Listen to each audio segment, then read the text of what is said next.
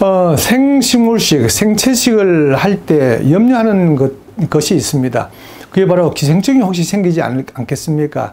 이런 염려를 합니다. 어떤 전문가들은 그 식품에 혹시 묻어 있는 세균 혹은 기생충 알 이런 것들을 죽이기 위해서 반드시 익혀 먹어라 이런 얘기를 하기도 합니다. 뭐든지 익혀버리면 많이 없어집니다. 죽어버리고 변성이 되고요. 그래서 날 것으로 먹으면 가장 좋습니다. 어, 한국에는 그 회충이 박멸이 되었습니다.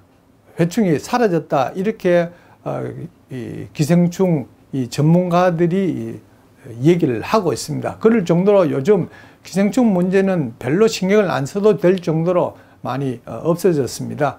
자, 기생충 문제는 인분으로 채소를 키울 때 생길 수 있는 문제입니다.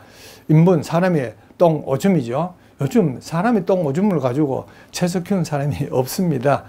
어, 대부분 이 퇴비로 유기농을 하는 사람들도 동물의 이, 이 분뇨를 가지고 어, 반려를 시켜서 어, 거름을 쓰고 있습니다. 근데 반려 과정에서 굉장히 고열이 나기 때문에 기생충 알들이 대부분 죽어 없어집니다.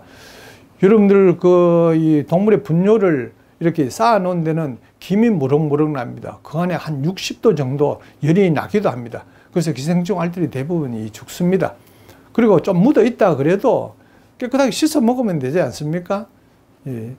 어, 씻는 것이 뭐 그렇게 이제 힘드는 것도 아니고 하니까요. 또 그런 과정을 거치면서 많이 또 줄어들 수 있을 거고 이래저래 해도 혹시 또 놓쳤다. 그래서 어, 기생충 어, 알을 섭취를 그러니까 이제 먹게 될 수도 있겠죠. 이럴 때는 너무 염려할 게 없습니다.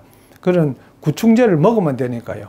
과거에는 구충제를 아주 여러 개를 동시에 먹고 여러 가지 부작용도 생기고 그랬습니다만 요즘 그렇지 않습니다. 조그만한 알약류 하나 먹으면은 뭐 먹은 표시도 안 나고 부작용도 별로 없고 문제가 해결됩니다. 어, 물론 뭐 한 번 먹어서 해결이 안 되는 그런 것들도 있습니다만은 과거처럼 기생충 때문에 문제가 될 그런 일들은 없습니다.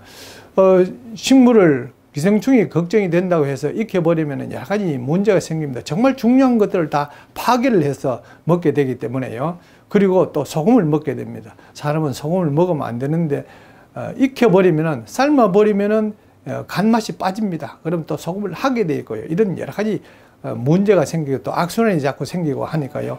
기생충 어, 감염 그게 별로 염려도 되지 않으니까 그것 때문에 어, 생식물식을 못하겠다 그럴 거는 아닌 것입니다.